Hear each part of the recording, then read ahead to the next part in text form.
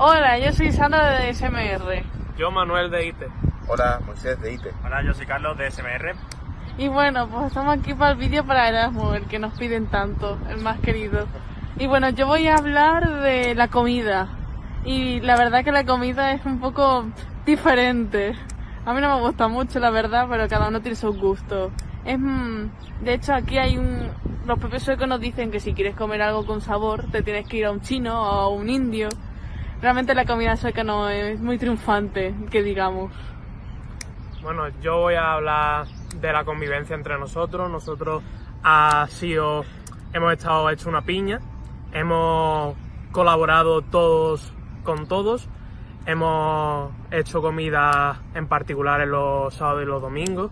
La verdad es que ha sido una buena convivencia entre todo el mundo.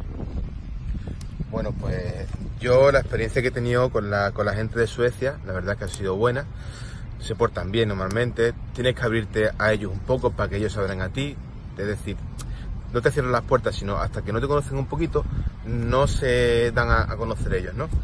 Por lo demás son gente muy amable, muy suelen ser a veces, te cuesta trabajo reírse algunas veces, pero bueno, por lo general eh, la verdad es que son fantásticos, tanto a nivel personal como a nivel de trabajo. Son súper súper respetuosos con todo, no manchan, no, intentan no ensuciar lo menos posible cuando están trabajando. Cuando a la hora de, de la comida es todo muy organizado con el tema del reciclaje, de cada cosa tiene que ir a su sitio. Y sobre todo me fija mucho es eh, en la forma que tiene cada persona de, de, administrar su tiempo a la hora de hacer las cosas. Bueno, por lo general la gente la verdad es que bastante bien. Yo le pongo, sobre 10 le pongo un 9,5 y medio a las personas que conviven en, en, Suecia. Eso sí, un poquito más de alegría porque es que a veces le cuesta de, de abrirse un poquito a los demás, ¿no? Bueno, yo soy, como anteriormente he dicho, mi nombre es Carlos. Eh, yo voy a hablaros un poco sobre la ciudad aquí, sobre Vésteros, cómo es la ciudad en concreto. Es una ciudad muy bonita, es una ciudad que se basa muchísimo en la tecnología, en la puntualidad y como Moisés ha dicho, la gente es muy puntual, la gente es muy limpia, se nota muchísimo en las calles. No encuentras colillas de tabaco por cualquier sitio, no encuentras eh, nada de restos de defecaciones de perros o de cualquier otra cosa por las calles. No encuentras, eh, encuentras una ciudad muy verde, es una ciudad que está muy integrada con la naturaleza y la verdad que eso, por los tiempos que corren, se aprecia muchísimo. Es una ciudad muy bonita, es preciosa, es una ciudad digna de visitar. El centro es relativamente pequeño, aunque la ciudad en general es enorme. La ciudad tenemos aquí, tenemos aquí eh, unas 13 líneas principales de autobús, aunque luego tenemos, por ejemplo, la de Sala, que es la, 5000, la 522 eh, está muy bien conectada, cada 10 minutos pasa un autobús. Es una ciudad que, en la cual eh, el transporte, se suele usar muchísimo el transporte público, así como las bicicletas. Eh, normalmente te, dan una tarjetita que la tengo por aquí, eh, la voy a buscar, ¿vale? Eh, la tengo exactamente aquí, una tarjetita verde, con la cual con esta tarjetita te puedes ir, eh, tienes un mes completo de autobuses eh, ilimitados, te puedes montar en cualquier autobús de la ciudad, de, dentro de, de Vésteros, ¿vale? Eh, luego tú si te vas a otra, a otra ciudad de Suecia, no tienes ese, no tienes este, este privilegio. Los autobuses pasan cada 10 minutos y, se, y, tienen conexión a internet, tienen adaptadores USB y es una, es una pasada. Es algo que en España yo personalmente cojo muchísimo autobús y después de en España tiempos de espera de dos horas en la parada, aquí cada 10 minutos un autobús es una gozada. Yo personalmente no quiero irme de aquí. Bueno, ahora vamos a hablar del trabajo. Uh -huh. Tú y yo. ¿Sí? Porque estamos en el mismo. Los de SMR nos ha tocado la misma nos empresa. Nos ha tocado la misma empresa, tenemos esa suerte. Sí. Nos ha tocado en una empresa que se llama Robot Dalen. Es una empresa la cual se basa en el diseño y en el, en el diseño de robots, básicamente, eh, diseño y programación de robots. Eh, nosotros, por ejemplo, el último ejercicio que hemos hecho hemos programado un, hemos programado un robot que escribe. Sí, estamos eh, haciendo que el robot escriba las letras del alfabético, estamos haciendo un lenguaje... Eh... Lo estamos haciendo en un lenguaje de programación que se llama Rapid. Sí, y estamos haciendo que sea un ¿Cómo? Para que da igual lo que tú escribas, la frase va a tener todas las letras. Claro. Te va escribiendo letra a letra. Claro. Mm. Hemos usado el alfabeto inglés porque ni el alfabeto español era el adecuado para usar aquí en Suecia y el alfabeto sueco, eh, bueno, para hacerlo más internacional, hemos sí, usado el alfabeto inglés. inglés. Y aparte de hacer lo del alfabeto con los robots, hemos hecho muchas cosas. Hemos hecho que el robot coja piezas, Sí. Eh, también hemos hecho que el dibu- robot dibuje eh, triángulos, cuadrados y círculos. Sí. Y bueno, ahora mismo estamos trabajando las letras. Ya Sí. tenemos casi terminado las mayúsculas. Tenemos casi terminado las letras Sí. mayúsculas, nos faltan las letras minúsculas y ya estaría preparado para... para Mm, Al principio de todo no estuvimos en Robot Talent porque nos estaban buscando empresas, porque el instituto no quería que fuésemos allí, porque los de los, nuestros compañeros anteriormente iban siempre al instituto. y era, era un poco lío al principio. Sí, era muy lío, pero muy, muy rápido nos encontraron en empresa y somos los primeros, Los primeros becarios que vamos a Robotale. mm, los primeros estudiantes, tanto sueco como español, que pisan esa práctica, o sea, esa empresa para hacer práctica. O sea, que nos han dicho que somos afortunados por ello. Sí, Y estamos muy felices porque los compañeros muy amables, nos reímos y demás. Además, nosotros tenemos muchísima suerte. En la empresa, desde el minuto uno, nos han tratado como una persona más. Eh, eh, siempre hemos tenido nuestros dos minutos, de, nuestros dos tiempos de descanso, además de la, la hora completa de la comida, que nos Mm. vamos fuera. Nuestro encargado primero se llamaba Sí. eh, aquí en el Big Manska. Y en Robotalen, la empresa que tenemos ahora, se llama Ingemar. ah, Ingemar. Sí. Ingemar Reyer, creo. Sí. Si mal no recuerdo. Eh, es un, el, el trabajo en general es un trabajo muy chulo. Sí. Estamos, es un poco complicado porque es un trabajo de ingeniero, Mm. básicamente. No es un trabajo para un grado medio, pero al final uno es pol- Aprende, es, polivalente mucho. y se aprende. Mm. Y además, desde aquí, no sé, damos un poco de agradecimiento a un profesor en concreto que se llama Pedro, Pedro Ruiz. Sí, Pedro Ruiz. Sí, porque sin Pedro Ruiz eh, nosotros aprendimos programación básicamente con él Con PowerShell. con PowerShell. Mm. Y la verdad que si Pedro no hubiese eh, dado PowerShell, no nos hubiese enseñado PowerShell, estaríamos bastante perdidos. Sí, Por porque ejemplo, sí, hay funciones parecidas hay- de es todo PowerShell. prácticamente muy parecido a Sí. PowerShell. Y al final, si aprendes un lenguaje de programación Mm. orientado a objetos como es PowerShell, es muy fácil. Eh, eh, Bueno, no es muy fácil porque no, Mm. pero te tienes que aprender la estructura y nada más. Al final es, lo- es todo lo mismo. Sí, bueno, ahora vamos a pasar a los compañeros de IT para que hablen de su experiencia en las empresas. Yo he estado en una empresa llamada Bravida y Moisés ha estado en una empresa llamada Electriquen. Triquen. Yo precisamente he estado más metido en obra y Moisés Bueno, pues yo toca de todo.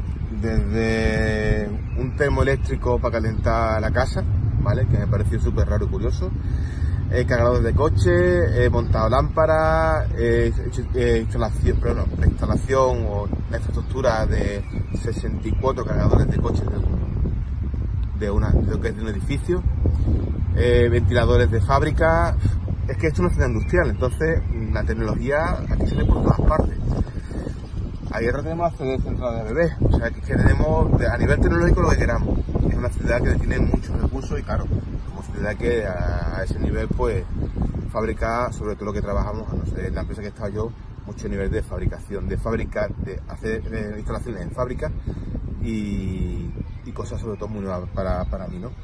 Como trabajar en el sector de la electricidad. en la obra, precisamente, mi empresa que tiene mil, mil empleados, eh, hemos estado trabajando en tres edificios que hemos hecho totalmente nosotros. Por ejemplo, yo he hecho todo el recorrido de cableado mm, del subsuelo y también los, los enchufes de seis plantas que me que he puesto yo totalmente en un edificio completo y ahora estoy con el segundo. Así que es un tema que es complicado porque en las prácticas de las obras te vas a mover mucho en hacer lo mismo porque estás practicando no cosas muy innovadoras, pero los compañeros te tratan súper bien, muy cercanos.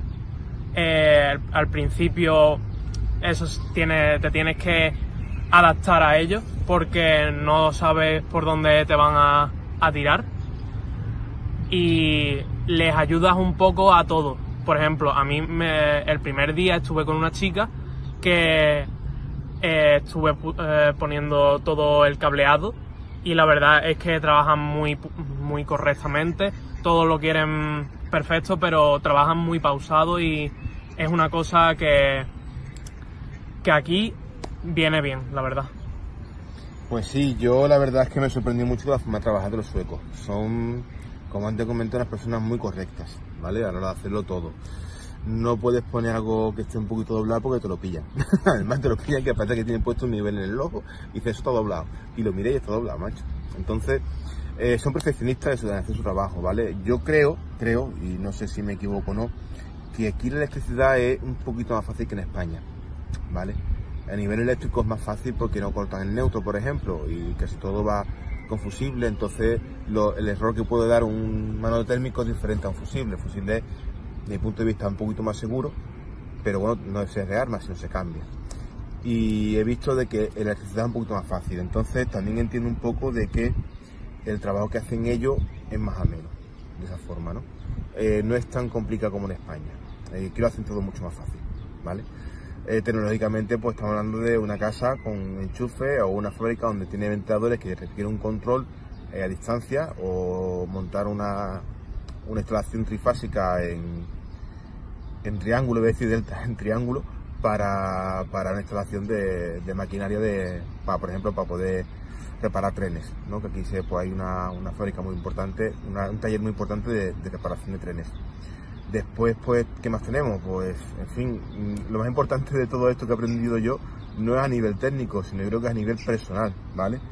Considero de que trabajando de una forma con muchos recursos, no escatiman en, decir esto de comprarlo, se compra si hace falta y se usa a nivel de me hace falta un destornillador, lo compras. Me hace falta un, unos guantes, lo compras. No van a buscar por ahí a ver, no, no, no, no, cógelo, que lo paga la empresa. Que todo esto es para trabajar. Entonces yo creo que mmm, tenemos que aprender mucho a nivel de profesional de ellos también. Eh, sobre todo a cómo utilizar las cosas, a darle su tiempo para hacer las cosas, que muchas veces corremos para hacerlo y no nos damos cuenta de que no hacemos todo lo bien que debiéramos por hacer entregar, por entregar el trabajo cuando realmente lo que deberíamos es prestar un poquito más atención a lo que estamos haciendo y cómo lo estamos haciendo. Ya hablo a nivel profesional. Y a nivel personal, pues me ha encantado.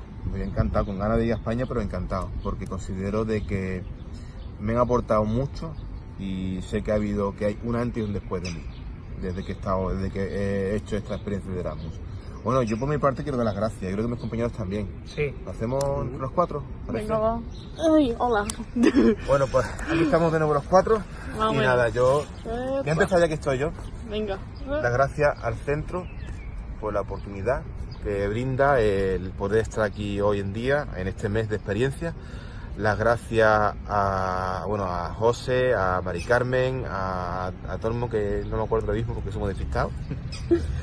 y a los compañeros que están ahí conmigo porque, bueno, a, a buenas o malas me han aguantado mis, mis tonterías y mis cosas. Siempre hemos estado, hemos, creo que hemos estado los cuatro. Y bueno, pues ha sido una experiencia muy chula. ¿vale? Yo también quiero dar las gracias a todos los profesores que nos han brindado todas las oportunidades que hemos tenido aquí, tanto como a Juan del Vinsmanska como a Lars y también a, Juan Carlos, que es un, un, hombre chileno de aquí que nos ha ofrecido tanto como su casa como eh, ir a visitar muchos sitios que, eh, para que conozcamos más la ciudad y ha sido, como ha dicho Moisés, un antes y un después para, para creo que todos en, en general. Yo, por mi parte, me gustaría dar las gracias no solamente a todos los profesores que nos han ayudado aquí, sino a que los profesores que nos han traído aquí, sino en general a todos los profesores de, del instituto, porque todos y cada uno de los profesores que hay ahí eh, han conseguido que estemos aquí. Sin uno de ellos hubiese fallado, probablemente no estuviéramos aquí. Tanto Juan Carlos como la gente de electrónica, como la gente de lengua, como la gente del departamento de, de idiomas, como la gente del departamento de física, como la gente del departamento de química. Todo el mundo al final ha puesto su, su motita y hemos hecho una montaña y esperemos que todo el mundo que quiera pueda tener esta oportunidad de venir aquí. También, por supuestísimo, muchísimas gracias a, los compañeros que están aquí, muchísimas gracias a la gente del Big Manska, muchísimas gracias a Juan Carlos, como hemos dicho anteriormente, muchísimas gracias del Big Manska personalmente a Juan, porque Juan ha venido a vernos a nosotros, a nuestra empresa, cada dos veces a la semana a preguntarnos si estaba todo bien, si necesitábamos cualquier cosa y lo que necesitemos se lo hemos podido pedir a él. Igual con Juan Carlos, el chico chileno que decíamos antes y sobre todo muchísimas gracias a Ingemar a Osa de la empresa, a William de la empresa, a todos los chicos de la empresa que se han portado conmigo genial, lo han, me han conseguido hacerme sentir en casa, han conseguido que me sienta una persona completamente diferente de la persona que vino. Yo no me vine, yo me vine como Carlos, ahora me voy como, el nuevo, como un Carlos diferente. Ahora yo no me vengo como que yo ahora, sí, vale, yo había tenido cierta experiencia profesional anteriormente, pero después de venir aquí, la cosa ha cambiado completamente y de, los, los españoles de verdad deberíamos tomar un poco de ejemplo de cómo trabajamos aquí y lo maravillosa que es esta ciudad.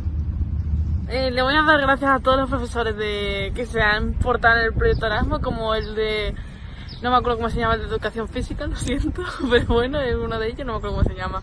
A Mari Carmen Francés y Juan Carlos y José Antonio, que creo que son más los que lleva el proyecto Erasmus. Y en sí a todos los profesores, porque sin ellos no estaríamos aquí, ellos nos han formado, ellos han, ha sido posible que haya el ciclo y demás. Y también muchas gracias al director, que realmente es el que más tiene que ver aquí, ¿sabes? Nadie le ha dicho nada, pobrecito. y bueno, que aunque al principio del curso digan, solo hay una plaza de Erasmus, mm, nos vamos a batallar a muerte por la plaza, eh, yo creo que lo tendré que tomar tranquilo. Antes de fijaros, me voy a Suecia, terminar el curso. Que hay mucha gente que se quería venir a Suecia y no ha podido porque le ha faltado una asignatura. O sea, que poner las pilas y estudiar, que es muy importante, hay que estudiar la vida. Y bueno, la verdad que me sentido muy cómoda aquí con mis compañeros, en el sitio muy bien, en el sitio donde vivimos que no hemos hablado apenas. Hay una cocina, está todo muy bien, es compartido, la cocina, el baño y demás, pero tenemos una habitación propia y una nevera propia, eso estaba muy bien, la verdad. Y bueno, me lo he pasado muy bien, la verdad, he aprendido cosas nuevas como programar un robot. Hello. Hello.